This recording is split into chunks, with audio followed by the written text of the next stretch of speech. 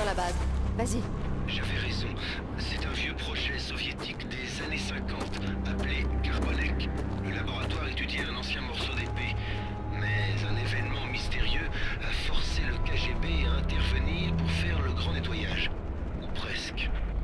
On dirait que ça barde en dessous. Je crois que t'arrives juste à temps. Voir un peu trop tard. Les Kazakhs se battent avec les hommes de Rutland.